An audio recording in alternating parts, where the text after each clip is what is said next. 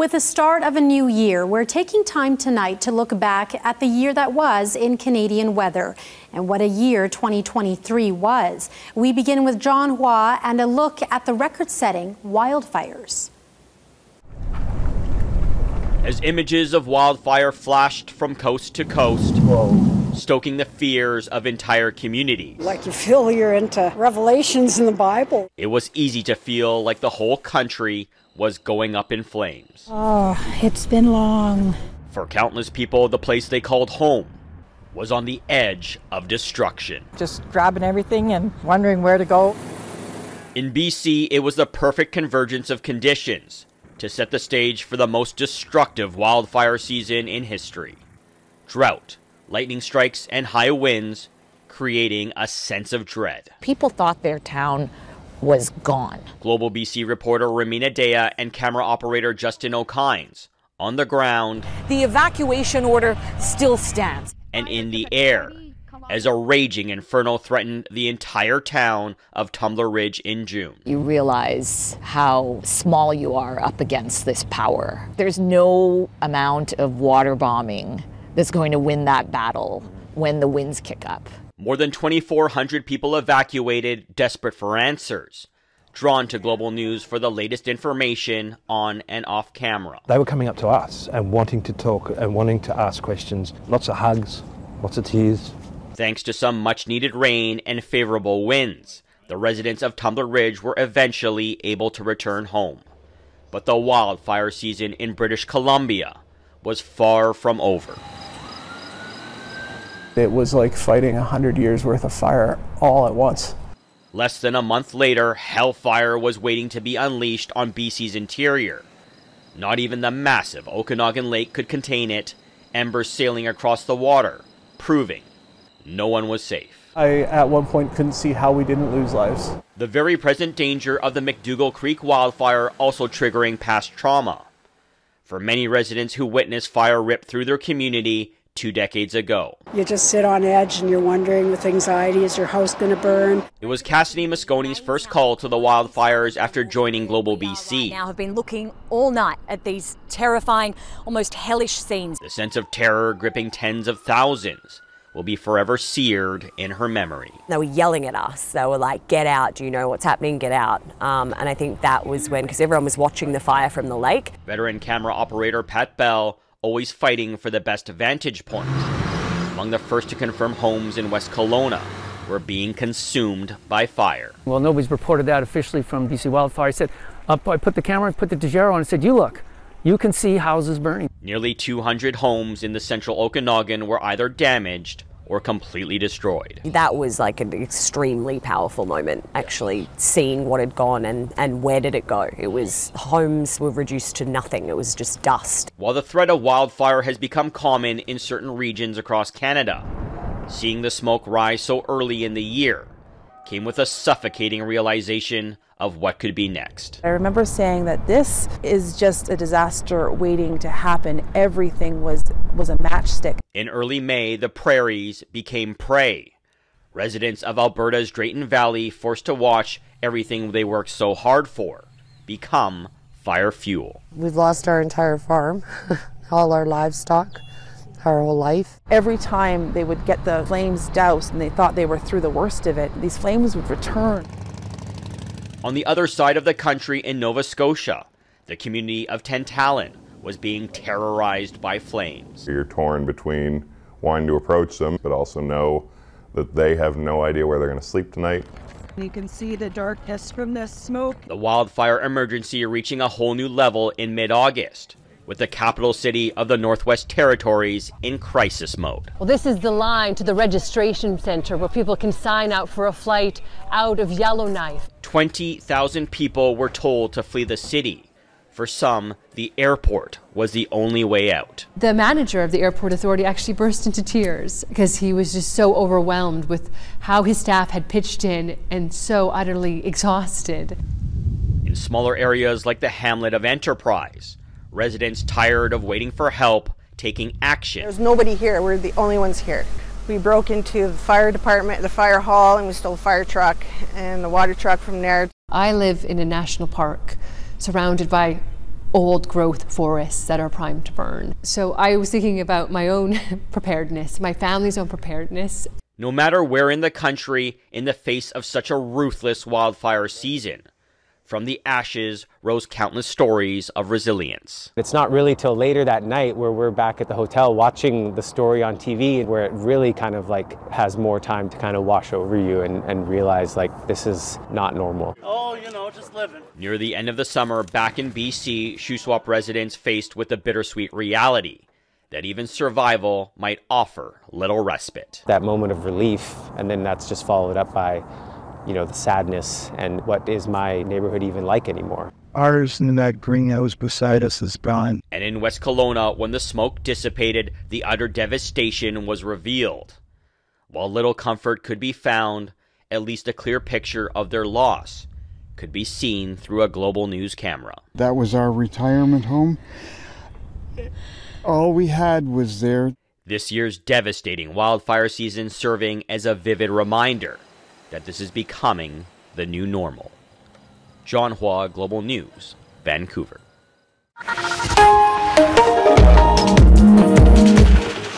It was the spring storm no one really expected. On Wednesday, April 5th, freezing rain fell in Quebec for hours. The day unraveled quickly. Once you get into the month of April, you think that you're home free. You're not going to get a big ice storm or even snowstorms that linger. But uh, this year was different. By mid afternoon, the consequences started to be felt with power failures reported all over the province as trees and branches heavy with ice started to fall. Towards evening, like 7 o'clock nighttime, it was just like a war zone. Trees, branches were cracking and falling. It was like everywhere. Loud. Loud, very loud. Sounds like gunshots almost. The rain left a thick layer of ice basically on everything. The problem was weight. Every branch was heavier, and not all of them could take it. What made matters worse for some people was that the storm affected towers in certain areas, meaning people weren't able to use their cell phones to communicate or access the internet. I can't contact anybody, not my parents, not my friends, nobody. That left people frantically searching for stores that were open to plug in their devices and places to keep warm. At the peak of the storm, 1.1 million Quebecers lost power. The province's public utility, Hydro Quebec, had over 1,500 employees on the ground working on larger outages first, then moving to the smaller ones.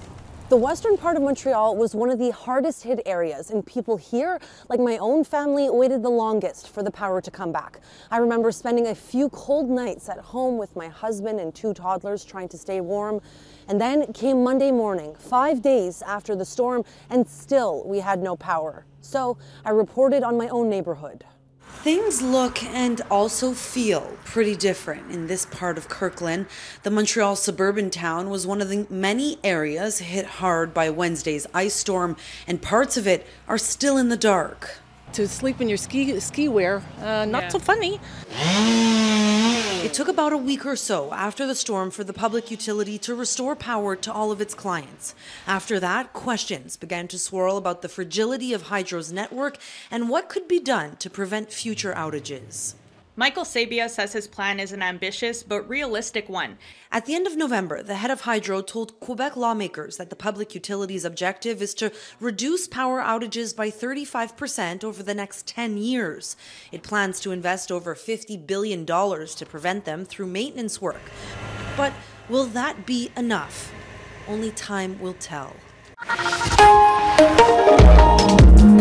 Well, good evening, everyone. Hopefully, you're staying dry, and that is hard to do if you venture outside even for a few minutes. Check out our pinpoint radar. So, right the before the flooding event, water temperatures were anywhere from 3 to 7 degrees Celsius above average for that time of year. Warmer water, more uh, moisture in the atmosphere, and it can lead to some big flood events like we saw this summer. And then you just wait. You wait for social media, you wait for the reporters to get out there and see some of the video. And the flooding is not something that I had ever seen before. Like the idea that a parking lot for a mall became so submerged that a boat was needed to go take people out of that mall and bring them to safety was just so shocking to me.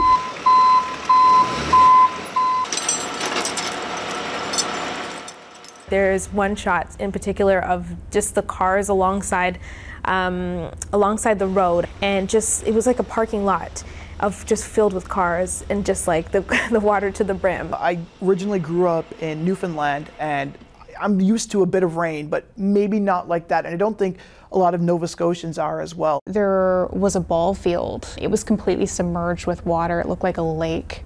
And I was getting B roll, and it was so crazy because all I could smell was gasoline.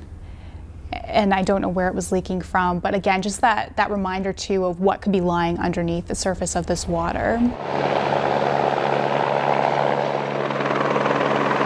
We were told that um, by police that um, the floodwaters came so quickly that it swept a couple vehicles off the road. As the days went on, you know, you wonder how long people can survive, um, especially when there's kids involved. We can rebuild roads and bridges and buildings, but we can't bring people back. And the legacy for these floods will be the incredibly tragic uh, loss of life.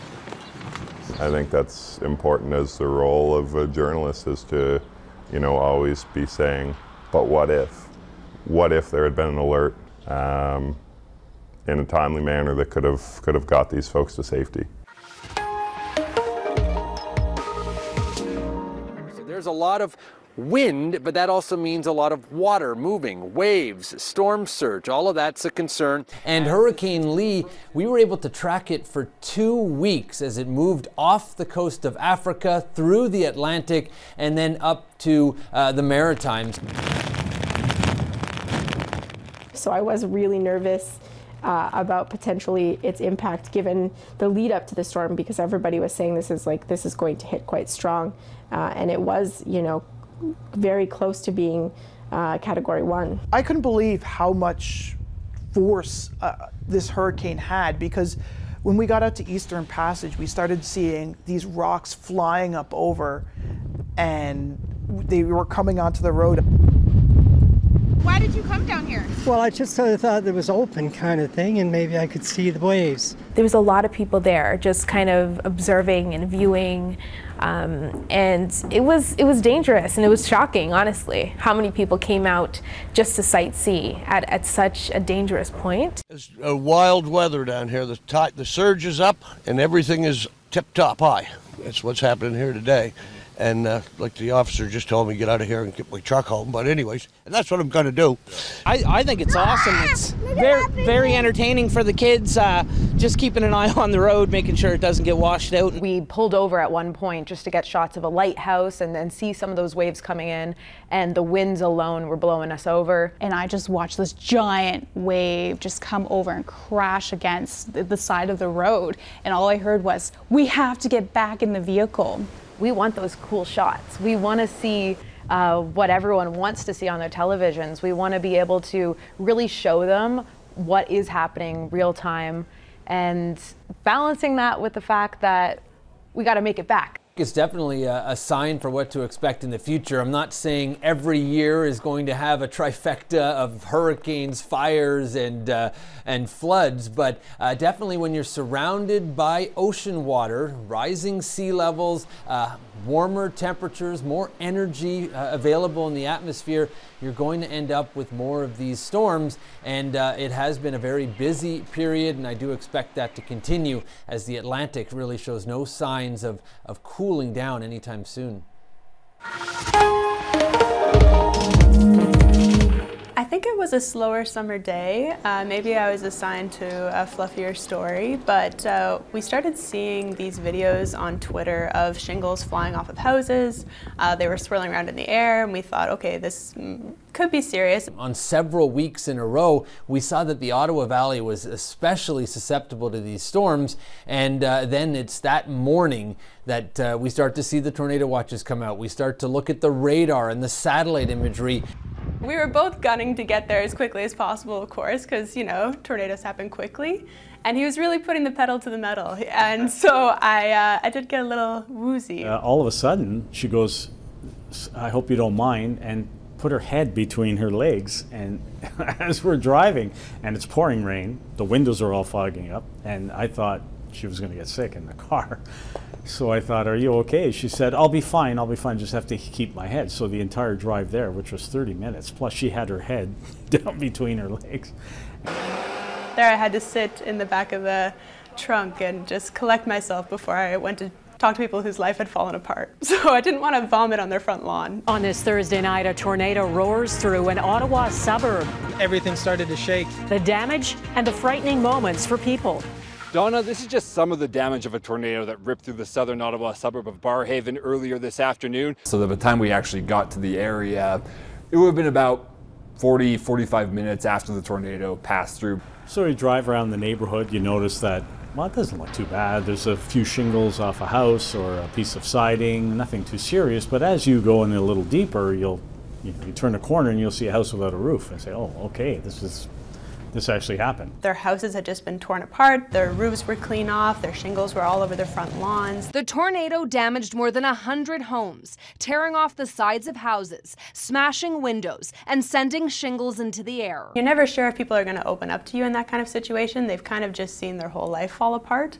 Um, that wasn't the case here. Uh, they, they really did want to open up. We had uh, a gentleman actually open up his backyard to us. He was like bringing us right in. He said, you know, here's where a tree crashed through my fence and it just narrowly missed all this other stuff in my yard. People really wanted to share their stories with us, I think because they wanted us to bear witness to what they'd been through. The entire roof is gone, just rafters are left. Uh, all the insulation was, you know, ripped out of there. It was very scattershot. Some pretty significant damage, other ones who might just be a door or two down the road nothing. It was just a very crazy storm that way. This guy came up to us and said, You should go behind this row of houses. So we went uh, sort of behind uh, where the subdivision was. There was like a little hiking trail. You go to the right, and it's just debris everywhere, all kinds of stuff. And there was a piece of wood that had gone clean through a fence. And it was roughly the height I was. And I remember thinking, like, that is where my head could have been. Had anyone been walking on that trail, they would have definitely gotten knocked out. It wasn't as large as other storms we've seen, but it was sudden, sudden, quick, and the damage was intense in a very concentrated area. One person actually got taken to hospital through the entire thing, and they were fine. So you know, for a tornado hitting uh, the capital city, it could have been a lot worse.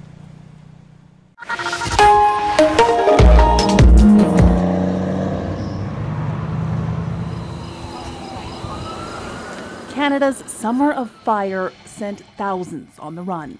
Just about six o'clock, and you can see the darkness from from the smoke.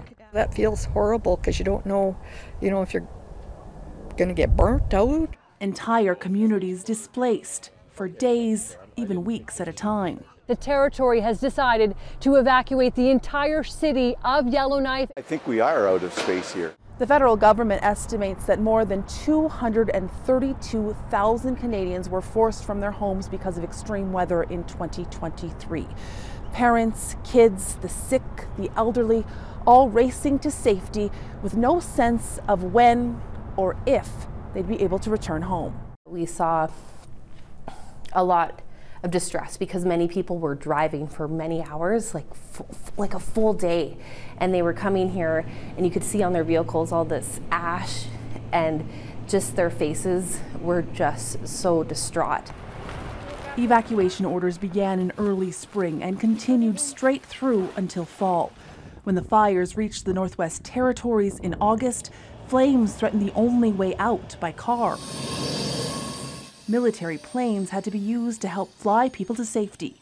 It was controlled mayhem. Um, initially, you've got that many people descending on one place. The infrastructure to look after them, both physically and emotionally, isn't quite in place instantaneously. It takes a little bit of time to ramp up. In northern BC and Alberta, dozens of cities and towns had to mobilize quickly to help. They relied on volunteers, but the evacuees themselves stepped up as well. We are all brothers and sisters, and we are in a bad situation. There was this gentleman named Abdel who was a taxi driver up in Yellowknife. Abdel just decided that he would pass the time by helping people out, going to places like laundromats. His services offered for free. How do you pay for gas? I do my best. I do my best. Yeah. Through the year, the stories of generosity in the face of disaster were many, even when it put people at odds with the law. When fire threatened homes around BC's Shuswap Lake in August, many defied evacuation orders to protect their homes. It meant living without power. When food and fuel became scarce, neighbors stepped in to help. They started just loading up their own boats, taking their own generators, fuel, water. Basically, they weren't taking no for an answer at that point, and and they were gonna, you know, help their help their neighbors across the lake. Emergency officials warn defying evacuation orders can put wildfire fights at risk. But there was no denying in these kinds of emergencies, emotions run high. Those covering the fires were not immune. When wildfire tore through a Nova Scotia subdivision, Rhonda Brown became a part of the story she was sending reporting teams to. It was a little bit surreal. You know, I had to put my feelings aside about um, what the fate of my house was and um, what was happening to my neighbors. From Halifax to West Kelowna, rural Alberta, and up to Yellowknife, not all of those forced to evacuate this year have been able to return home. The people displaced by extreme weather. 2023, a year when tens of thousands of Canadians became climate refugees. Heather Yourex West, Global News, Calgary. That is our time for tonight. Thanks for watching. From all of us at Global News, we wish you the best in 2024.